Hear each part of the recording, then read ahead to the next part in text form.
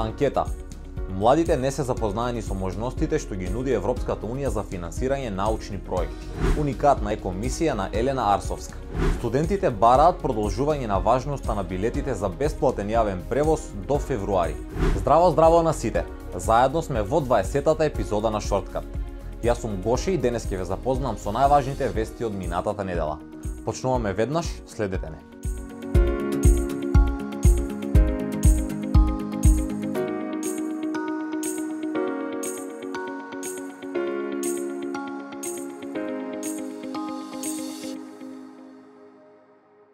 Емисијата ја започнуваме со науката и младите. Младите во земјава немаат доволно информации во врска со можностите за развој на научни проекти што ги нуди програмата на Европската Унија Horizon 2020. Ова е главниот заклучок од онлайн анкетата спроведена од Мета МК во која учествуваа 112 студенти од земјава. Повод за анкетата е објавениот извештај за следење на напредокот на Македонија кон Европската Унија за 2021 година, во кој се наведува дека земјава има минимален и ограничен напредок во областа на науката и истражувањето. Една од главните програми финансирана од Европската Унија е програмата за истражување и иновации Horizon 2020. А за оваа програма речиси 50% од младите на анкетата рекле дека првпат слушаат. Според студентите, главна пречка за развојот на научната дејност во земјава се немањето опремени простории и недоволниот број на лаборатории. Меѓу другото, мнозинството анкетирани вела дека државата има потенцијал во иднина да развие услови за спроведување научни истражувања. Инаку целосната анкета можете да ја прочитате на веб страницата meta.mk. Остануваме кај студентите овој пат со добри вести. Читалната во градската библиотека Браќа Миладиновци во Скопје на барање на студентите ќе работи 24 часа. Така беше одлучено посредбата на представниците на Универзитетското студентско собрание при УКИМ со градоначалничката Данела Арсовска. Барањето на студентите за овој распоред дојде откако беше скратено работното време на библиотеката поради пандемијата – Тие подпишаа дури и онлайн петиција за истото.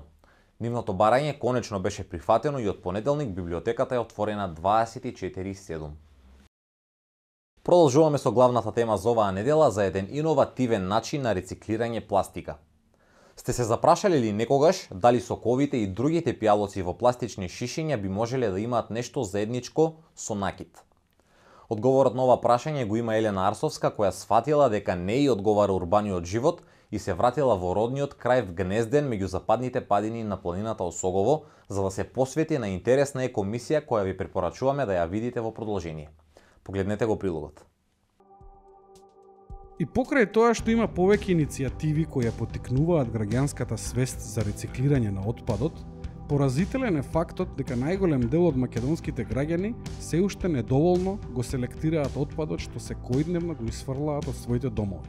Така, селектираната пластика изнесува само 1,8 Останатиот дел завршува во депониите, а нередко и во реките и на планините.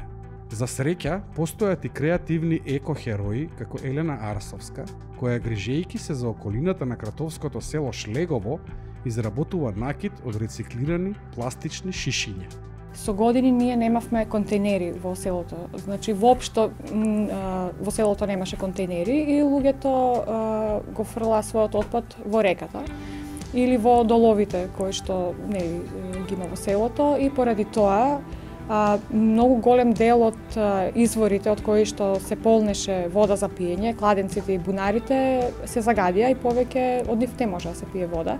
И не само тоа, туку со зголемената нели употреба на пластиката, тој отпад се се повеќе се зголемува, не е повеќе органски отпад како што било некогаш. И затоа сега проблемот станува се поголем и поголем. Елена вели дека иако жителите на Шлегово сега имаат каде да го фрлаат отпадот, старите навики тешко се искоренуваат. Меѓутоа тоа не е некој проблем што го имаме само ние, тоа е глобален проблем.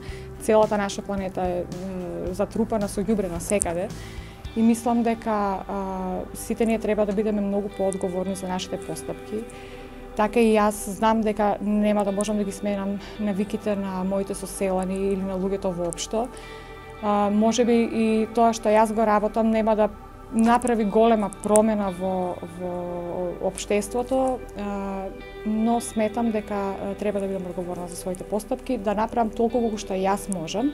Од таа причина 33 годишната Елена се труди што помалку да употребува пластика, а од пластичните шишиња што ги собира, изработува уникатни парчиња накид. Сосема случајно дојдов до идеја да направам гердан од пластично шише а, и ми успеа. Добро, таа изработка тогаш не беше како ова сега, но а, тогаш за прв пат имав а, материјали во изобилство и можев да се посветам на, на изработката на накид А, па така, освен за себе, изработував и за своји пријателки, за роднини. А, почнав и да продавам, тогаш имав околу 15-16 години и на тој начин прв пат заработив пари. Таа вели дека на овој начин сака да ги инспирира и другите да бидат одговорни, да ја чуваат природата преку рециклирање и селекција на отпадот и секако помалку да употребуваат пластик. Елена вели дека процесот за изработка на еден ваков герден е макотрпен и може да трае по неколку дена затоа што секоја монистра се изработува рачно, без машини и калапи и представува мала, уникатна скулптура. Затоа имало моменти кога се двумела дали да ја користи рециклираната пластика како основен материјал, но откако се вратила во родното село и се соочила со загадувањето, веќе не се откажува од незината екомисија, затоа што за неа борбата за помалку отпад е повредна од заработувачката. Од приказната на Елена се навраќаме на студентите, а овој пат зборуваме за јавниот превоз. Универзитетското студентско собрание на УКИМ од јавното сообраќајно предпријатие ЈСП Скопје побара продолжување на важноста на картичките Скопска за бесплатен јавен превоз за сите студенти како што беше минатата година до крајот на февруари. Студентите го бараат ова поради состојбата со зголемениот број позитивни случаи на COVID-19, како и да имаат повеќе време за да ја завршат обновата на бесплатните билети. Тие бараат и да се укинат казните на оние студенти кои биле казнети од почетокот на годината, бидејќи не знаеле дека билетите важат до 31 декември 2021. Студенти, не заборавајте да ги продолжите своите картички Скопска за да можете бесплатно да го користите јавниот превоз во текот на целата година. За крај имаме добри вести за љубителите на серии. Втората сезона на Временските талкачи, норвешката научно-фантастична серија се врати на телевизиската мрежа HBO. Авторите на серијата ја креираат фантастиката преку појава на ликови од минатото кои преку непознат процес масовно доаѓаат во сегашноста. Станува збор за три групи луѓе, од праисторијата, времето на викинзите и од 19 век, односно пред околу 100 години. Новата сезона се заснова на неколку испреплетени приказни. Не ви откриваме повеќе, за повеќе детали ве покануваме да го прочитате целиот текст на Мета МК и сами да ја погледнете серијата. Тоа беше се за денес. За повеќе информации следете не на Instagram и Facebook и информирајте се преку рубриката за млади ЦТРЛЗ на meta.mk. Чао, чао!